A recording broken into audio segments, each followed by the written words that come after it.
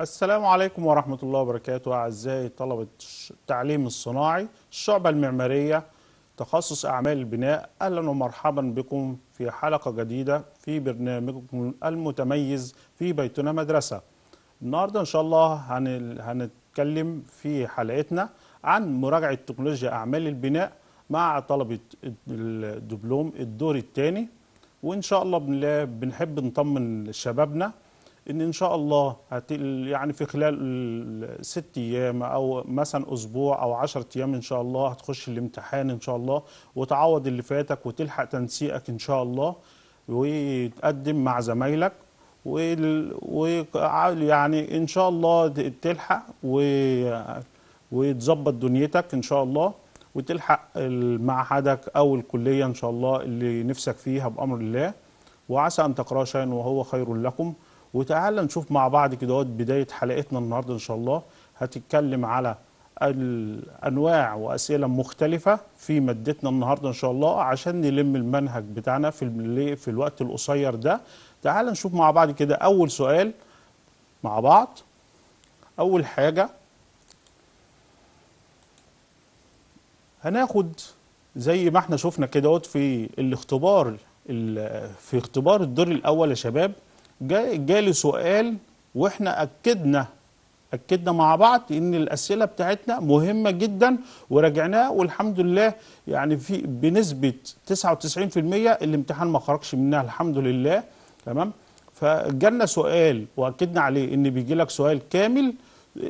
أول سؤال بيجي لك مثلا إيه الجزء الأسئلة على السلالم أو درس السلالم بيبقى ألف وب. لما يجي يقول لي عرف عرف المصطلحات أو عر- عرف ال- المصطلحات الآتية؟ مثلا هتجيب لك إيه مصطلحات من السلالم زي أنف الدرجة أو الدرجة إيه هي؟ عرف الدرجة عرف عرف الدرجة عرف الكوبيستا. زي ما أنت شفت كده هو تاكدنا ليه مرارا وتكرارا على المصطلحات دي وقلنا مهمة جدا جدا. وجالي الجزء الثاني من السؤال اللي هو مثلا ب في نفس السؤال عبارة عن مسألة. وحضرتك عرفت الايه ال- في الشباب بتاعنا عرف يحلها الحمد لله اللي هو كان متابعنا. تمام؟ والمسألة سهلة جدا والأسئلة كانت الحمد لله سهلة وبسيطة. تمام؟ لما يجي لي مثلا هنتكلم على أول جزئية ويقول لما يقول لي عرف المصطلحات أو اذكر المصطلحات الآتية تمام؟ وضحها واشرحها وممكن يجيبها لي مع توضيح إجابتك بالرسم. مثلا تعال نشوف أول مصطلح كده معايا تمام؟ لو جاب لي أول مصطلح بيقول لي الدرجة. الدرجة إيه هي؟ طبعا زي ما إحنا اتعودنا مع بعض كده أنا ما بجيبلكش الكلام إلا لما أجيب الأول الرسمة. الرسمة دي مش عايزك مش عايز حضرتك تحفظ أنا عايز حضرتك تحط الرسمة قدامك في دماغك تمام؟ وتتكلم عليها. أنت توصف الرسمة ديت عبارة عن إيه؟ الدرجة. زي ما أنا شايفها كده دوت السلم أهو متكون من إيه من مجموعة من الدرج أو القلبة ديت متكونة من مجموعة من الدرج. زي ما أنت شايف دوت الدرجة ديت لها سطحين سطح أفقي وسطح رأسي. سطح أفقي وسطح راسي يبقى أنا بقول له على الرسمة ديت الدرجة لها سطحين. الدرجة لها سطحين. كل درجة بيبقى لها سطحين سطح أفقي وسطح إيه؟ سطح رأسي. السطح الأفقي اللي هو يطئ يعني يدوس عليه الإنسان أثناء الصعود أو الإيه؟ أو الهبوط. وبنسميه إيه؟ وبنسميه نايمة. وبنرمز لها بالرمز نون. تمام؟ يبقى السطح الأفقي اللي حضرتك طالع وبتدوس عليه بالحذاء بتاعك ده اسمه إيه؟ اسمه نايمة. أما السطح العمودي على النايمة ديت اللي هو الرأس ده بسميه بسميه قايمه وبرمز له بالرمز إيه؟ قاف. تمام؟ يبقى الدرجة لها إيه؟ الدرجة لها سطحين سطح أفقي وسطح إيه؟ رأسي. إحداهما النائمة وال- والآخر بيسمى إيه؟ القائمة.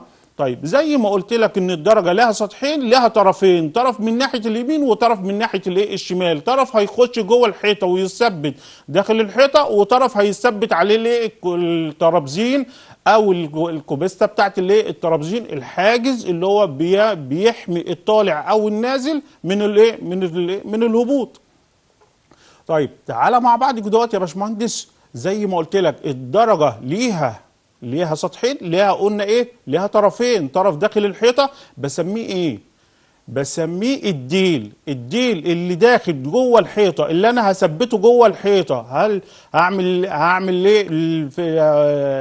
الف- آه، النو- الفح- فحت كده اهوت أو هفحت جوه الحيطة وهثبت الايه؟ هثبت الدرجة بتاعتي تمام؟ وأروح محبش عليها يبقى الطرف اللي داخل الحيطة والثبت جوه الحيطة بسميه الايه؟ بسميه الديل اما الطرف اللي هو من ناحية الكوب- الكوبيست أو الترابزين وانت طالع ماسك الترابزين تمام؟ الطرف ده طرف الدرجة اللي هو هيبقى حر الدرجة عندي هتثبت من الناحية دي. يبقى الطرف ده بسميه إيه؟ بسميه ديل أما الطرف اللي هو الحر اللي هو هيثبت عليه الكوبيست أو الترابزين بتاعي بأي شكل كان تمام؟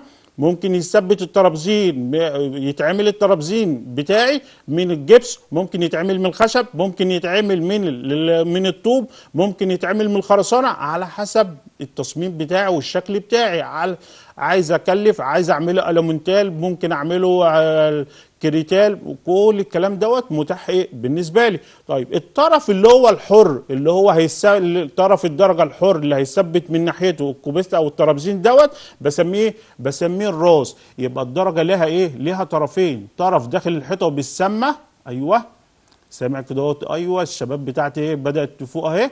تمام؟ الطرف اللي داخل الحيطة بسميه إيه؟ بسميه الديل أما الطرف الحر للدرجة بسميه الإيه؟ الراس. تمام كده؟ طب تعال نشوف بقى الكلام اللي أنت حضرتك هتكتبه في الكراسة. تمام؟ على مع كده هنقول له إيه؟ تعريف الدرجة.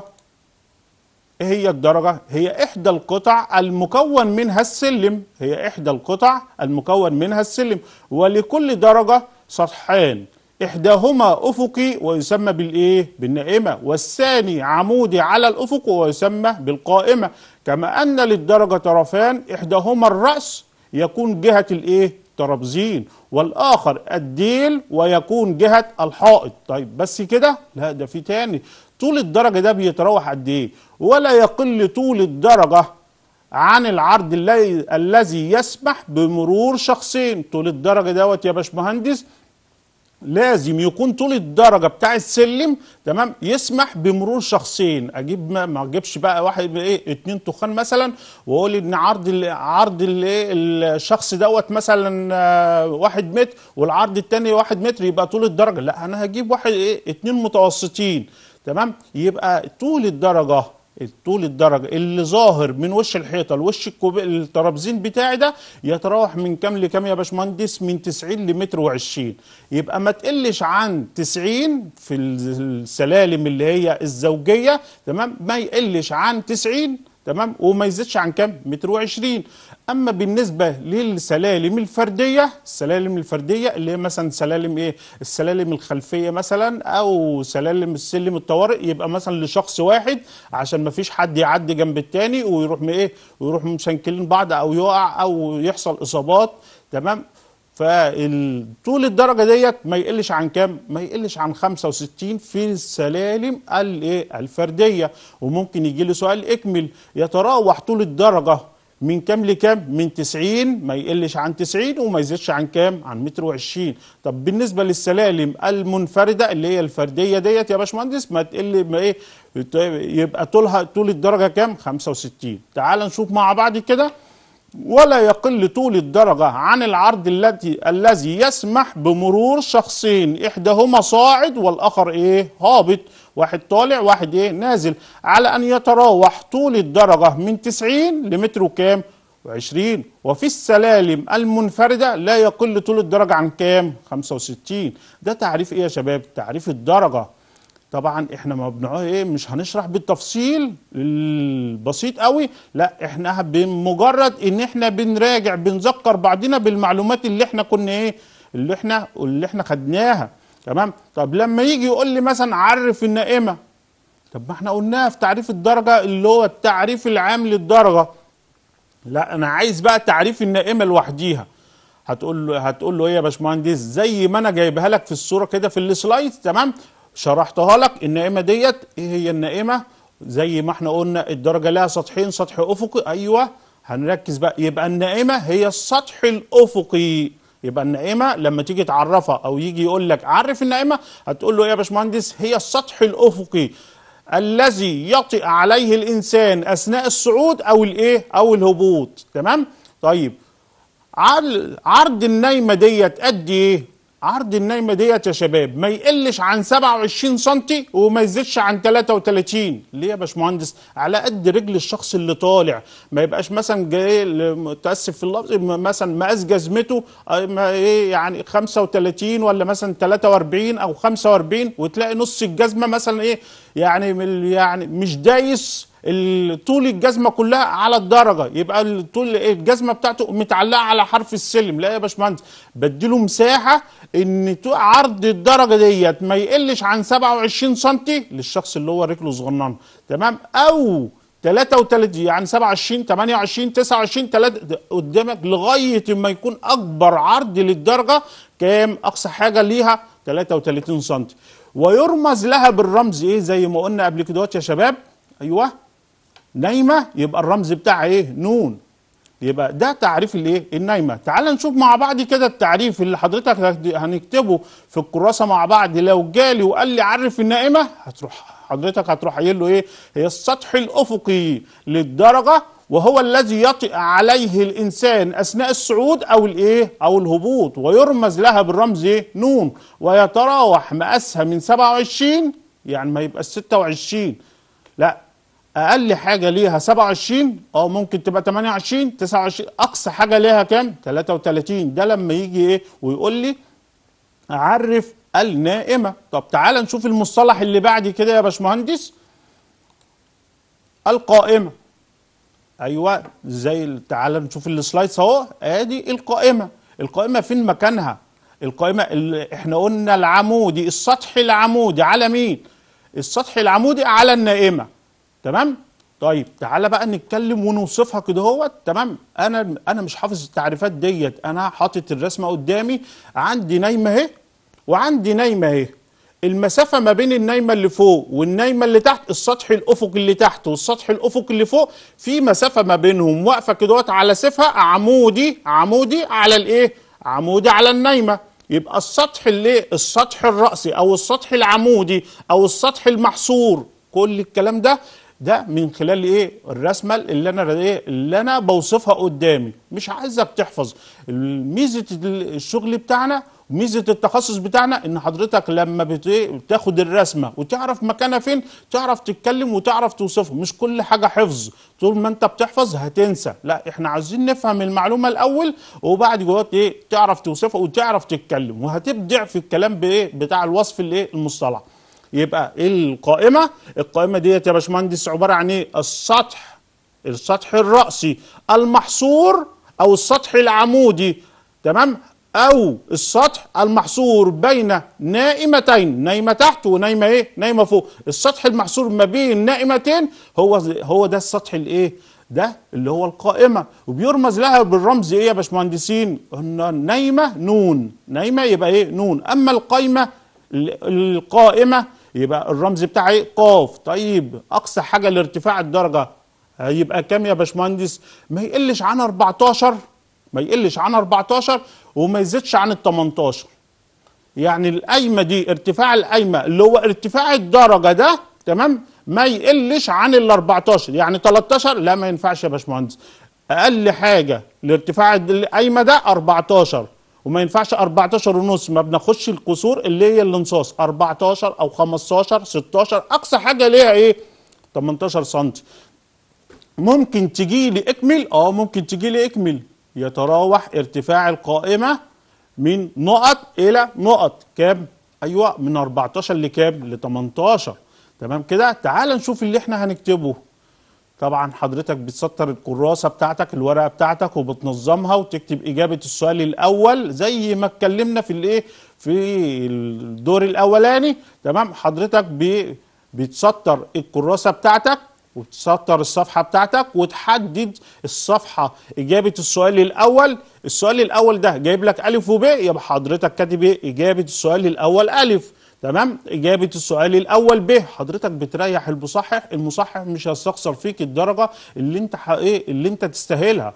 أما هتروح إيه هتلخبط في الإجابة تمام؟ وتيجي تقول لي مثلا أصل أنا حالل السؤال الأول ألف في آخر الكراسة الكراسة حضرتك بتتراجع من أول ورقة لآخر ورقة في في الكراسة بتاعتي.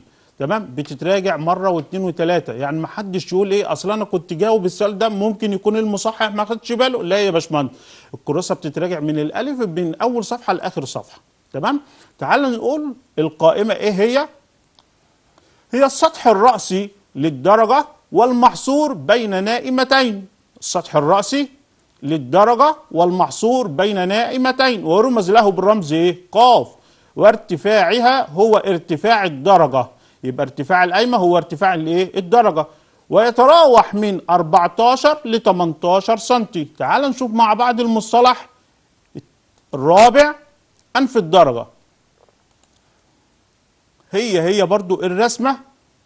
هتقول لي عجبا عجباك الرسمة يا باشمهندس؟ آه عجباني جميلة وشكلها وايه والشغل الفينش اللي فيها؟ آه. طيب إيه فين أنف الدرجة ديت؟ أنف الدرجة ديت يا باشمهندس السطح تقابل السطح الرأسي أو تقابل السطح الرأسي اللي أنا بشاور لك عليه محدده لك أهو. تمام؟ تقابل السطح الرأسي مع السطح الأفقي للدرجة تمام؟ الاثنين دول اتقابلوا مع بعض في نقطة واحدة أو في خط واحد بسميه أنف الدرجة. بسميه إيه؟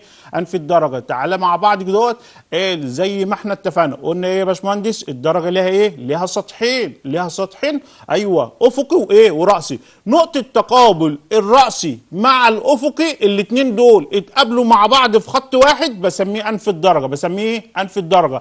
القايمة ادي القايمة وادي النايمة. اتلاقوا مع بعض في نقطة في خط واحد بسميه أنف الإيه؟ أنف الدرجة. تمام كده؟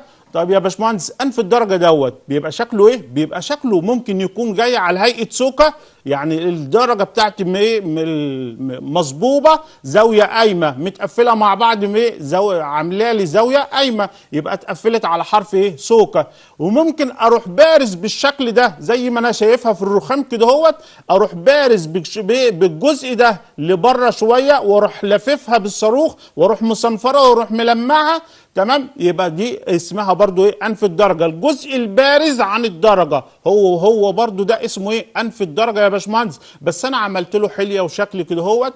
تمام؟ عشان يبقى شكلها إيه؟ مديني شكل جمالي. تعال نشوف الكلام اللي حضرتك هتكتبه وتقول له يا باشمهندس المصطلح اللي حضرتك طلبته. رقم كام؟ رقم أربعة. اسمه إيه؟ أنف الدرجة. تعال نشوف المصطلح. أنف الدرجة. عبارة عن تقابل سطحي النائمة والقائمة. الاتنين اتقابلوا مع بعض. السطحين اتقابلوا مع بعض. أيوه. كونوا لي إيه يا باشمهندس؟ كونوا لي أنف الإيه؟ الدرجة. ويكون شكله إيه يا باشمهندسين؟ ويكون على هيئة سوكة. تمام؟ أو حرف مشطوف أو ملفوف محلي بحلية بارزة عن عرض النائمة. مشطوف يعني إيه يا باشمهندس؟ يعني أنا جيت قلت لك أول حاجة تقابل السطحين مع بعض عمل لي زاوية قائمة تمام؟ صنع لي مع بعض زاوية قائمة عمل لي سوكه طب السوكه ديت حامية كده يا باشمهندس أو شكلها مثلا مش يعني مش شكلها مش مديني شكل جمالي.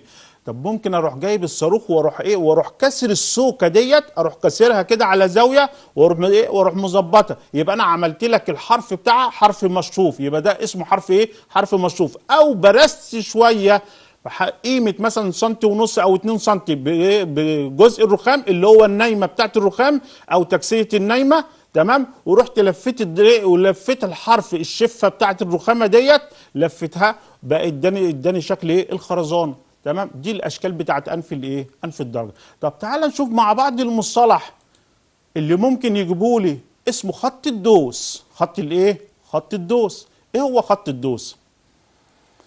تعالى مع بعض كده أقوله لك وأبسطه لك. خط الدوس ده الخط التصوري أو الخط التلقائي اللي حضرتك وأنت طالع على السلم بتلقائيتك عادي بتروح ماسك في الكوبيستا تمام؟ وبتروح طالع. بتلاقي نفسك ما, بت... ما بتطل... وأنت طالع أو وأنت نازل ما بتقعدش تحك مثلا في الإيه تقعد تكحت أو تحك مثلا في الكوبيستا أو في الترابزين وأنت طالع وأنت نازل. لا يا باشمهندس حضرتك بتلاقي نفسك اوتوماتيك بتلقائيتك تمام؟ إن أنت بعدت مسافة عن عن الترابزين دوت. المسافة دي بتلاقيها تتراوح من 35 ل 50 سم حتى انت حضرتك لما بتلاحظ ال ال الناس اللي بيستخدموا المكان ده تمام؟ وانت طالع مع الاستخدام وانت طالع وانت نازل بتلاقي حرف الدرجة بدأ يتاكل بدأ يتبري بدأ يقوص. يبقى المسافة لو انت قستها دي المسافة اللي اتاكلت ديت هي المسافة دي اسمها خط الايه؟ خط الدوس، خط الدوس ديت لو انت قست بدايتها بدايتها من الترابزين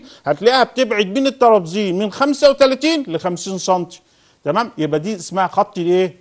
تعال نشوف مع بعض خط الدوس هو الخط التصوري هو الخط التصوري الذي يأخذه الإنسان بطبيعته في حالة الصعود أو الهبوط ويكون على مسافة تبعد من الترابزين من 35 لكام؟ ل 50 سم. تعال نشوف المصطلح اللي بعد كده خط الأنوف. خط إيه؟ خط الأنوف.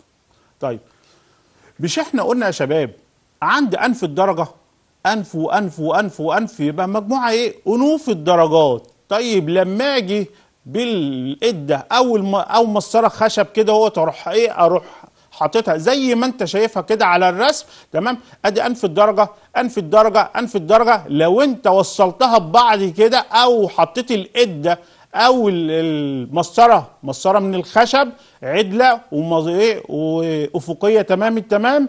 وما فيهاش اي انحناء أو تقويس تمام؟ هتلاقي الخط ده الانوف دي كلها على خط واحد. مش هتلاقي درجة مش هتلاقي درجة. بارزه لبرة أو أو درجة داخلة لجوه. لا كلها على خط إيه؟ خط واحد. تعال نشوف اللي حضرتك هتكتبه. المصطلح رقم سبعة خط الأنوف هو الخط التصوري المار بأنوف الدرجات الموجودة في أي قلبة ويكون ميله واحدا في جميع قلبات الإيه؟ السلم. زي ما قلنا مش هتلاقي. إحنا قلنا إيه؟ القلبة عندك بتتكون من مجموعة منين؟ القلبة الواحدة. السطح المايل السطح المايل ده بسميه قلبة القلبة ديت بتتكون من إيه؟ من مجموعة من الدرجات. مجموعة الدرجات ديت لما توصلها على خط واحد اللي هو خط الأنوف ده بالقدة أو بمسطرة خشبية تمام؟ بتوصلها مع بعض. بنعرف إن ده اسمه خط الإيه؟ خط الأنوف. طب تعال نشوف مع بعض كده. إحنا كده خلصنا المصطلحات. طبعا أنا حضرتك أنا شلت المصطلحات اللي جت في الإيه في الدور الأولاني. تمام؟ اللي إحنا كنا مراجعينها الحمد لله جت. فطبعا مش إيه يعني حبينا إن إحنا نوفر وقت ونجيب المصطلحات اللي محتمل إن شاء الله إن هي تيجي بأمر الله في الامتحان. طيب زي ما قلنا السؤال الأولاني كان جاي لي مثلا مصطلحات أو عارف المصطلحات الآتية وجاب لي مثلا ثلاث أو أربع مصطلحات وحضرتك عرف عرفتها. هتيجي بعد جوه للسؤال نفس السؤال بس جايب لي السؤال مثلا أو السؤال الأول ب. جايب لي مسألة مسألة سلم. مسألة السلم دي حضرتك لو انت ما اتعلمتهاش عشان تحلها لا حضرتك تتعلمها عشان تطبقها مثلا في حياتك الشخصية. وانت مثلا بتعمل بيت أو مثلا في حد من جيرانك عاوز يعمل بيت مثلا ويقول لك طب أنا الدور بقى عندي 3 متر عايز عايز أروح للراجل أتفق معاه ويجيب لي السلم. طب هي السلم دوت أجيب مثلا إيه 20 درجة؟ زي ما قلنا بقى السلم بيتكون من إيه؟ من درجات وبسطات وصدفات. تمام؟ طيب أجيب 20 أجيب 25 لا هي مش تخمينات مش هنقعد نقول بقى إيه طب أجيب 15 ويشتغل وهو شغال مثلا أجيب الباقي؟ لا يا باشمهندس ليها حسابات وحضرتك تتعلمها. أي حد لازم يتعلم الإيه المسألة دي مهمة. لو السلم لو سلم جالي مثلا قلبتين تعال نشوف مع بعض إيه نمط السؤال بتاعي في المسألة. تمام؟ بيقول لي المطلوب حساب عدد القوائم والنوائم. عايز يحسب إيه؟ ركز مع بعض في الكلمات والألفاظ. تمام؟ المطلوب حساب عدد يحسب القوائم والنوايم الأسطح اللي هي الرأسية والأسطح اللي إيه؟ الأفقية اللي هي القايمة والنايمة لكل درجة. ومقادير مقاسات كلا منها. في سلم عديم المنور. هحتاج الكلمة دي مهمة هتفرق معايا. جالك في الامتحان في الدور الأول إن السلم بمنور. طب أنا جبت لك بقى المرة دي في اللي في المراجعة بتاعتي تمام؟ إن السلم ده عديم المنور. طب تعال نكمل بقية المسألة مع الاعتبار أن الارتفاع الموصل إليه السلم من طابق لآخر هو 3 متر. يبقى ارتفاع الدور كام؟ 3 متر. يبقى أنا هحتاج إيه يا باشمهندس؟ هحتاج إن السلم ده عديم المنور هحتاج في السطر الثاني ارتفاع الدور اللي أنا هشتغل عليه 3 متر. تعال نكمل. قال لي وأن طول الدرجة الظاهر طول الدرجة النظيف اللي أنت شايفه بإيه؟ اللي أنت شايفه بعينيك وتقدر تقيسه بالمتر. كام؟ متر وعشرة. وعرض صدفة الوصول صدفة الوصول اللي هي قدام باب الشقة يا باشمهندس طولها كام؟ متر وعشرين. طيب في حاجة تاني؟ يبقى أنا هحتاج سلم عديم منور ارتفاع الدور 3 متر طول الدرجة متر وعشرة عندي صدفة الوصول متر وعشرين. طب يا أستاذ افتراضا لو هو زي ما قلنا قبل كده لو هو مش جايب لي عرض صدفة الوصول ولازم ولازم أوجد له صدفة الوصول ديت يا باشمهندس. أوتوماتيك على طول يا باشمهندسين أزود على طول الدرجة 10 سم لو هو جايب لي طول الدرجة ع- متر و10 تمام أزود عليها ع- 10 سم يبقى عرض صدفة الوصول بقى متر و20 طب طول الدرجة متر يبقى أزود عليها 10 بقت متر وإيه؟ ب- بقت متر و10 يبقى عرض صدفة الوصول كام؟ يبقى عرض صدفة الوصول أكبر من طول الدرجة بكام؟ 10 سم، الكلام دوت لو هو ما جابهاش إيه؟ لو ما جابهاش في المسألة ما نقعدش إيه نلف حوالين نفسنا ده المسألة ناقصة المسألة، لا يا باشمهندس في حاجات كده هو فنيات لازم حضرتك تبقى أنت عارفها. عرض صدفة الوصول أكبر من طول الدرجة بإيه؟ ب 10 سم. طب تعال نشوف القانون اللي أنا هستخدمه جايبه لي في المسألة، استخدم القانون 2 ق زائد ن بيساوي 62 سم. تعال بقى واحدة واحدة مع بعض كده ونشوف هتتحل إزاي سطرت سطرت الصفحة سطرت الصفحة عملت هامش على جنب كده مسودة وخدت البيانات عشان مش كل شوية إيه أتنطط ما بين ورقة الأسئلة وما بين كراس الإجابة. لا يا باشمهندس أنا خدت اللي أنا إيه اللي أنا محتاجه وركنت بقى ليه ورقة الأسئلة. خلاص يا باشمهندسين.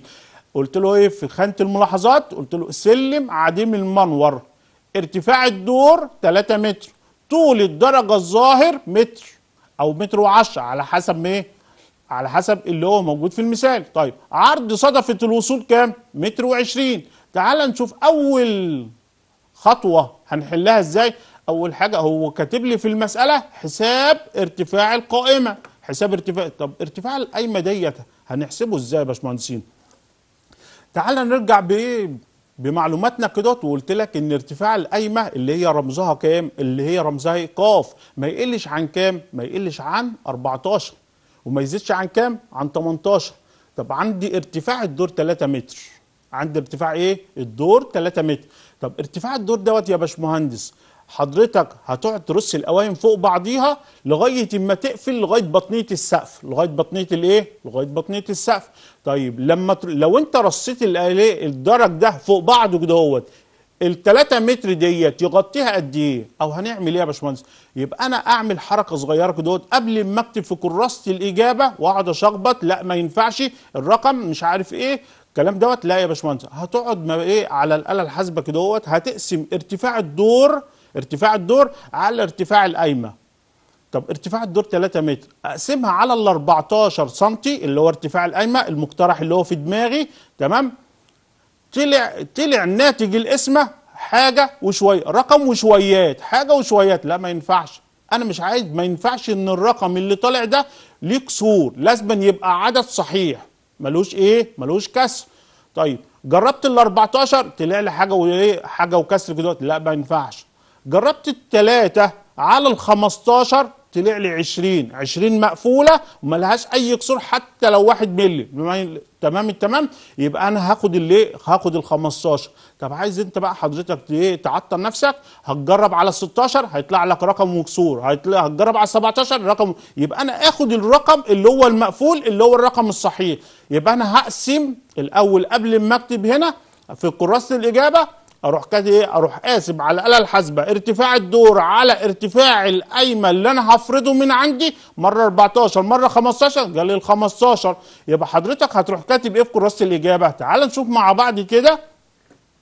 نفرض أن ارتفاع القائمة 15 حضرتك بقى إيه كتبت إيه؟ 15 طب أنت مثلا لو استعجلت وكتبت 14 وبعد جوه قسمت هيطلع لك رقم مكسور هتقعد تشطب بايه بالجاف بالقلم الجاف هتبقى الصفحه إيه الكراسة بتاعتك فيها شطب كتير فيها فيها شخبطة كتير إيه، هتخن- هتخنقني وأنا بصحح. لا يا باشمهندس ده إيه ده حلل كده هوت لا غير إما أنت تكون منظم إجابتك تمام التمام ومرتبها ومنسقها تاخد درجتك إيه كاملة مكملة. طيب ال 15 دي جت منين؟ قسمت يا باشمهندس أنا قلت له ضحكت عليه ما بيني وما بين نفسي وقلت له إيه؟ إن نفرض أن ارتفاع القائمة كام؟ 15 بناء عليه ال 15 ديت تعال نشوف مع بعض. عدد القوايم الخطوة الثانية قلت له إيه؟ عدد القوايم بيساوي 3 متر على ال 15 من 100 اللي هي ال 15 سم طلع كام؟ الخطوة اللي أنا عملتها على الآلة الحاسبة. بس أنا في الأول قلت له إيه؟ 15 ال 15 دي جت منين؟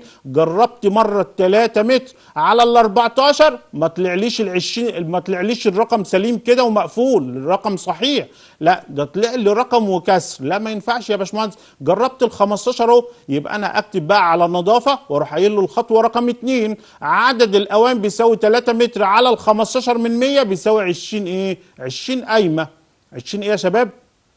20 قايمه طب ال 20 قايمه ديت يا باشمهندسين هتتوزع إزاي؟ خلي بالك إن هو قال لي في السلم في الم... في رأس المسألة إن السلم ده عديم المنور. عديم المنور؟ أيوه عديم المنور. يعني إيه يا باشمهندس؟ عندي القلبه القلبه الأولى اللي أنا طالعها أهو طالع مثلا إيه وليكن 10 درجات طالع مثلا 13 14 درجة ورحت بعد كده قال لي عديم المنور. يعني ما فيش الفانوس اللي ينور السلم وأبص مثلا على اللي بيندى عليا من تحت. يبقى ده اسمه عديم المنور. طب لو في مساحة ما بين راس الدرجة بتاعت القلبه اللي هنا وراس الدرجة اللي إيه بتاعت القلبه اللي هي الثانية ديت لو في مساحة ما بين الاثنين يبقى المسافة دي بسميها منور السلم. منور إيه؟ منور السلم. طب هو قال لي ما فيش منور سلم. يبقى حضرتك يا باشمهندس هتلاقي بس مسافة الإيه؟ الكوبيستا أو الترابزين بتاعي. الاثنين لاحمين في بعض كده. وما إيه؟ وهنا القلبة الأولى وهتلف على طول من غير ما تريح أو تاخد نفسك وتريح وتروح طالع الايه اللي هي القلبة الإيه؟ القلبة اللي هي القلبة الثانية طيب الاثنين دولت يا باشمهندس المسافة اللي هنا هسميها إيه؟ صدفة. أيوه هتلاقي جزء مستطيل في النص هنا. تمام؟ بسميه إيه؟ صدفة متوسطة. صدفة إيه يا باشمهندسين؟ صدفة متوسطة. الصدفه المتوسطة ديت يا باشمهندس اللي لو راجل كبير أو مثلا إيه حد حد كبير في السن طالع بدل ما ياخد القلبة الأولى ديت وينهج وكدهوت ويتعب لا بي مثلا إيه بيحب إن هو ياخد نفسه ويريح ممكن يخلص القلبة الأولى ويركن على جنب مثلا ويقول لك مثلا عد أنت أنا هاخد نفسي. بيروح مريح على الصدفة دي اللي اول بصة لو هي شكلها مربع تمام؟ لو شكل لو الشكل بتاعها مربع بسميها بصة. اسمها بصة الراحه طب لو مستطيلة الشكل بسميها صدفة متوسطة. صدفة إيه؟ متوسطة. الصدفة المتوسطة دي اللي عندها بيتغير اتجاه السلم. يتغير اتجاه الإيه؟ السلم. طيب تعالى بقى مع بعض كده نشوف إن السلم ده عبارة عن قلبتين وعديم منور. يعني ما فيش مسافة ما بين القلبتين هنا. صح كده؟ طيب بعد دلوقتي يا باشمهندس العدد القوائم اللي طلع ده ال20 ال20 ديت هتتقسم ليه؟ هتاخد هتتوزع إزاي؟ عندي لازم لازم القلبة الأولى قد القلبة الثانية عاملة زي رجل البنطلون ما ينفعش كده. هو إيه؟ إن رجل رجل البنطلون تبقى واحدة طويلة واحدة قصيرة هيقولوا عليك إيه؟ ده بص العبيط دوت. لا يا باشمهندس لازم عدد الايه عدد القوايم اللي في القلبه الأولى قد القلبه الثانية تعال نشوف نوزعها مع بعض كده. هنقول له عدد القوايم بالقلبه الواحدة. كام؟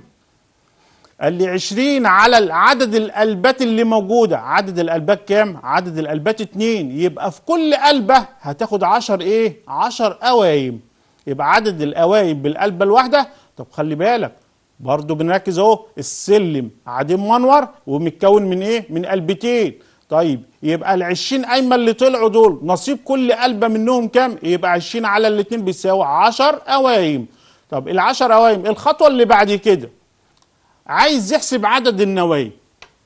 عايز يحسب عدد النوايم. يبقى أول خطوة في المسألة بتاعتي أنا فرضت ارتفاع القايمة أو بحسب ارتفاع القايمة صح كده؟ بعد ما حسبت ارتفاع القايمة يا باشمهندسين وأوجدت له وحسبت له كل قلبة فيها هتاخد قد إيه؟ عدد درجات تمام؟ مش عدد درجات عدد القوايم عدد القوايم اللي هو السطح الرأسي بس. أنا أوجدت له السطح الإيه؟ السطح الرأسي اللي هي عدد القوايم عدد القوايم 10 في القلبة الأولى و10 إيه؟ في القلبة الثانية. العشرة والعشر ديت توصلني أو تملى لي ارتفاع كام؟ ارتفاع 3 متر. طيب بعد جوات عايز يحسب النوايم اللي هو السطح الأفقي. عندنا قاعدة بتقول لي إن عدد النوايم أقل من القوايم بواحدة.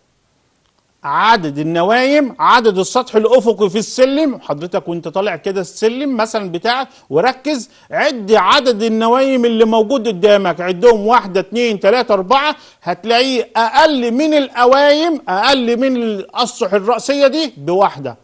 تمام؟ طيب يعني أفهم من الكلام ده إن العشرة هيبقوا تسعة؟ أيوه يا باشمهندسين. يبقى عدد النوايم في القلبة الواحدة بيتحسب إزاي؟ تعالى مع بعض كده هنقول له إيه؟ عشرة عايز يحسب عدد النوايم بالقلبة الواحدة يبقى عشرة ناقص واحد بيساوي إيه؟ تسع نوايم. تسع إيه؟ تسع نوايم. طيب يبقى أنا أوجدت الخطوة الأولى ارتفاع القايمة أوجدت له الخطوة الثانية عدد القوايم الخطوة الثالثة عدد القوايم ده عدد القوايم بالسلم كله كام؟ 20 طيب في الخطوة الثالثة أوجدت له عدد القوائم بكل قلبة كل قلبة لوحديها طلع كام؟ 10 طيب النوايم عدد النوايم قلت له عدد النوايم أقل من القوايم بإيه؟ بواحدة يبقى 10 ناقص واحد بيساوي 9 اوجدت له الأعداد بتاعت القوايم والنوايم في السلم. طب عايز مقاديرها؟ أيوه مقدار يعني مقاسات القوايم والنوايم. طب أنت عندك طول طول النايمة كام؟ متر أو متر وعشرة اللي هو جايبه لي في المسألة. تعال نشوف مع بعض كده. حساب عرض الإيه؟ النائمة. قال لي في المسألة لو نفتكر قال لي استخدم القانون بيساوي إيه؟ 2 ق زائد ن بيساوي 62 سم صح كده؟ مش هو كان جايبها لي في المسألة؟ 2 ق زائد ن بيساوي 62 سم طب هنعمل إيه؟ الاتنين تنزل زي ما هي يا باشمهندس. القاف مجهولة لأن هو عايز إيه؟ حساب عرض الإيه؟ النائمه طيب القاف أنا فرضتها لك يا باشمهندس إيه؟ كام؟ ب 15 طيب زائد النون النون دي قيمتها مجهولة لأن هو عايز إيه؟ عايز حساب عرض النايمة. عرض النايمة اللي إحنا قلناه وشرحناه في أول اللي في أول حلقتنا وقلنا إن عرض النايمة ما يقلش عن ما يقلش عن كام يا شباب؟ 27 وما يزيدش عن 33 تعالى بقى نشوف بقى نشوف العرض النايمة هنا هيطلع في المسألة كام؟ الاتنين تنزل زي ما هي قيمة القاف اللي أنا فرضتها في أول المسألة 15 زائد النون تنزل زي ما هي النون مجهولة لأن هو عايز عرض النايمة اللي هو عرض النون تنزل زي ما هي لأن هي مجهولة بتساوي 62 بتساوي إيه؟ 62 طيب هنخلص الأقواس ديت ونفوق ليه؟ وندرب الأرقام اللي إيه؟ اللي ملحومة مع بعض ومتصلة مع بعض. يبقى 2 في 15 بكام؟ ب 30 زائد النون تنزل زي ما هي بتساوي 62 فيها مشكلة؟ ما فيهاش مشكلة. طب برضو لسه في الطرف مجهول زي ما هو. طب النون ديت لسه مربوطة مع ال 30 وفي عند ال 62 ديت سايبة لوحديها.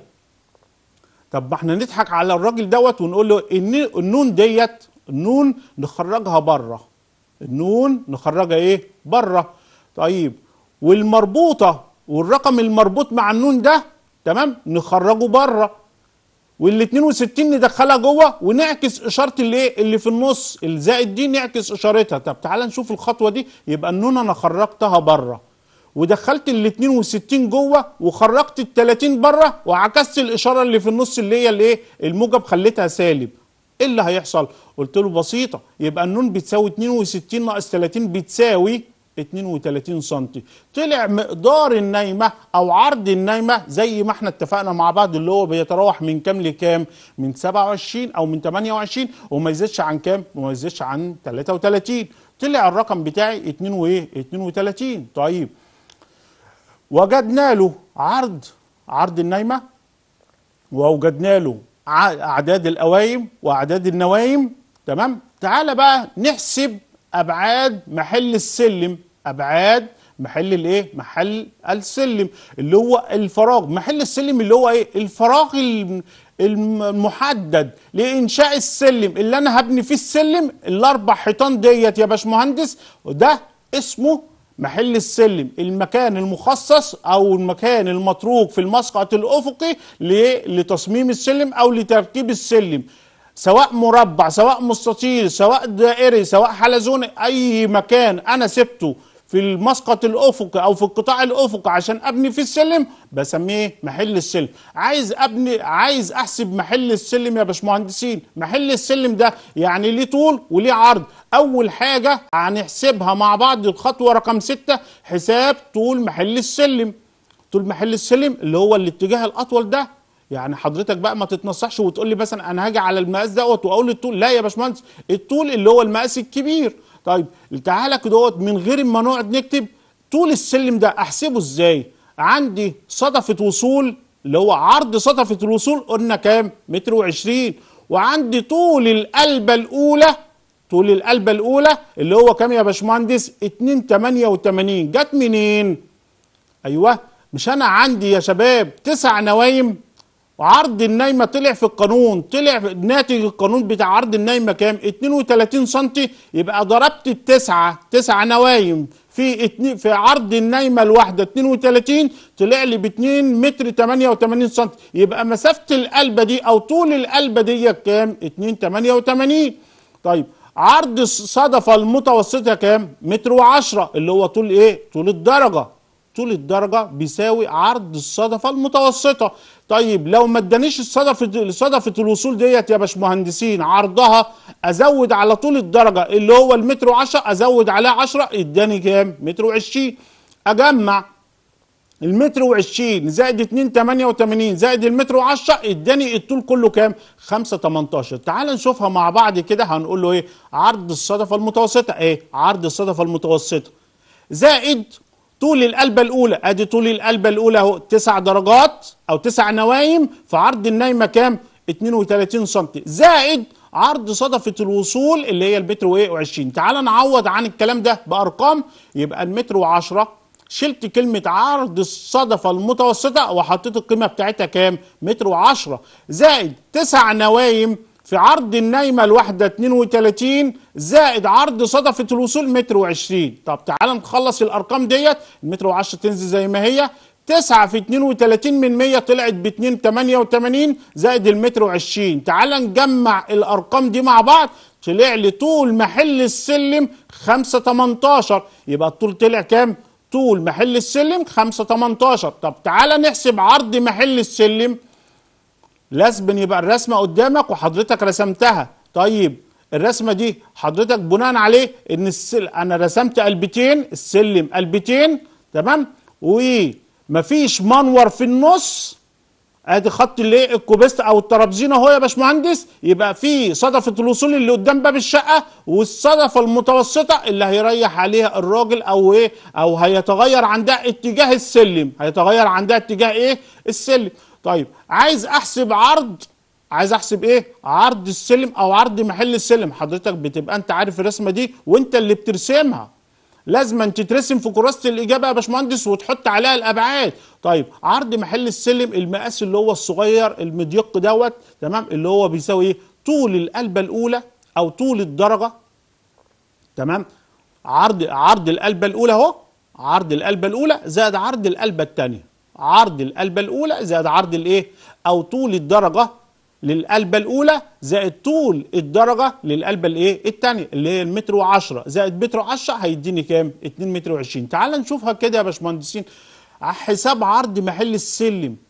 اللي انت شايفه إيه؟ اللي انت شايفه قدامك في الرسمة اللي انت رسمتها بإيدك انت إيه؟ هتعبر عنها يا باشمهندس. عرض القلبة الأولى. ادي عرض القلبة الأولى اهو. مش إحنا قلنا المسافة دي طول القلبة يبقى الم... طالما دي طول القلبة يبقى الاتجاه الثاني دوت يبقى إيه؟ عرض القلبة الأولى. زائد عرض القلبة الثانية طب تعالى نشيل الأرقام دي الكلمات ديت ونعوضها بأرقام. يبقى عرض القلبه الأولى كام؟ متر و10 آدي اللي هو طول الدرجة النظيف الظاهر اللي جايبه لي في المسألة. متر و10 زائد عرض القلبه الثانية متر و10 يبقى بيساوي كام؟ 2 متر 20 يبقى اذا أبعاد محل السلم 5 18 أهي.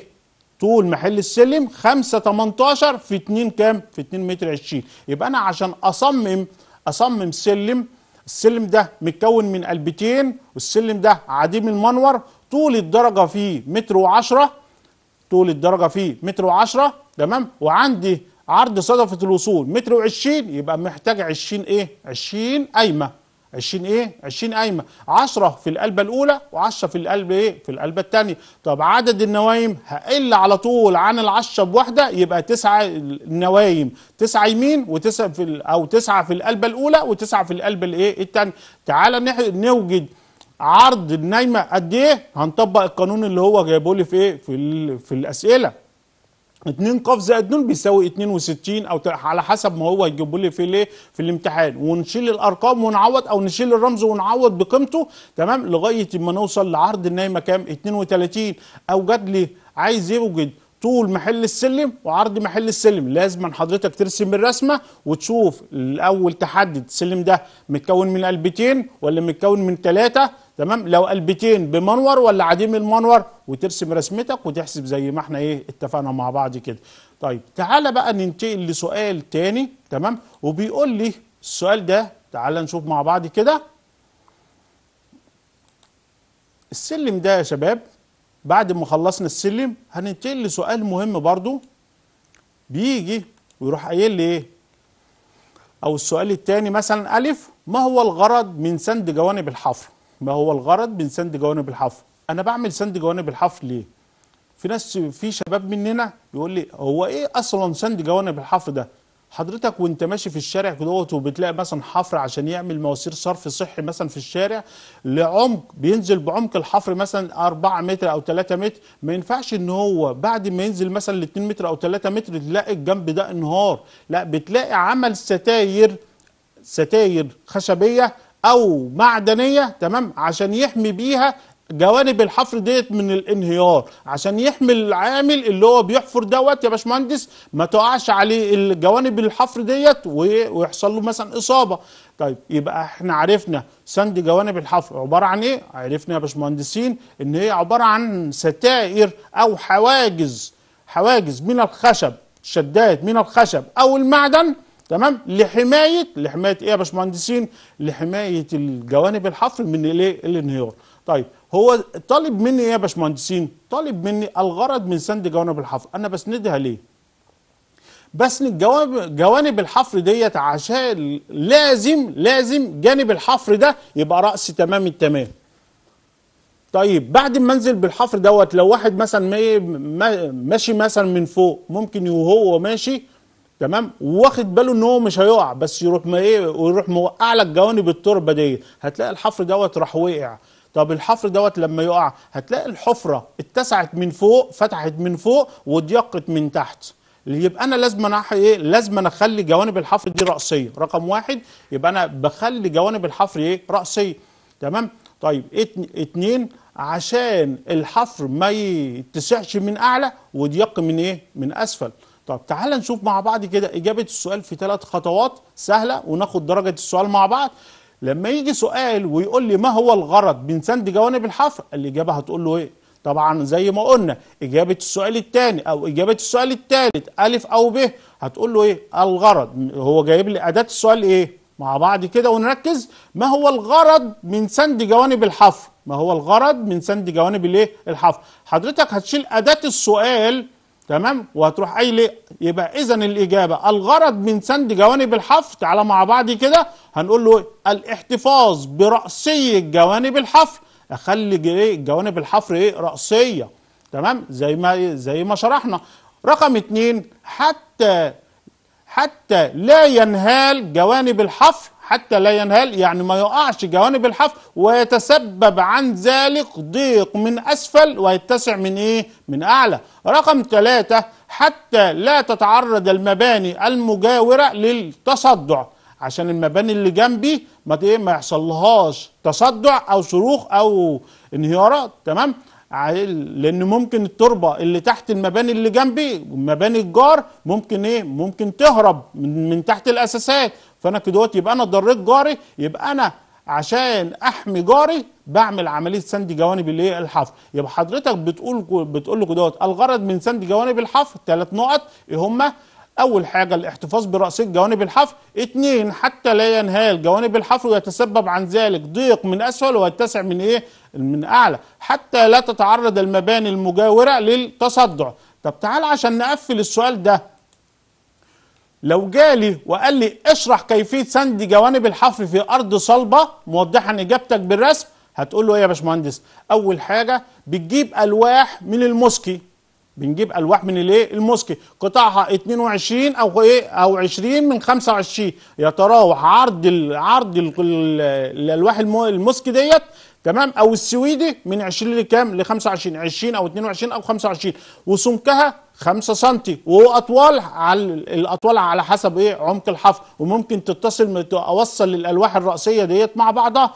يبقى أول حاجة هسند هسند جوانب الحفر بألواح من المسكي بألواح من المسكي على مسافات تتراوح في الأرض الصلبة على مسافات محورية من اتنين إيه تتراوح كل كام؟ كل 2 متر.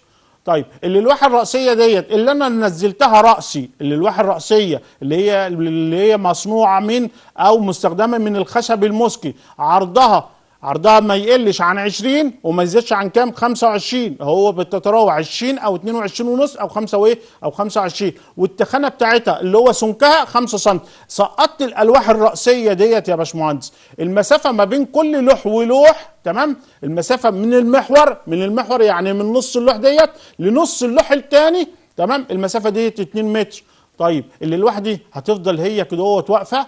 لا يا باشمهندس. هأمن هسند الالواح ديت هعمل لها دكم اللي هي عوارض الزنق من الواح اللي هي اللي الخشب اللي هو الفليري قطاع 10 في 10 أو 12 في 12 ونص في 12 ونص أو 15 في 15 تمام؟ كل اللوحين رأسيين هسندهم بإيه؟ بعوارض زنق وبكده للأسف وقت حلقتنا خلص وايه والحمد لله إن إحنا خدنا بعض الأسئلة المهمة وإن شاء الله هنكمل بأمر الله في الحلقة القادمة بأمر الله وإلى لقاء آخر. والسلام عليكم ورحمة الله وبركاته.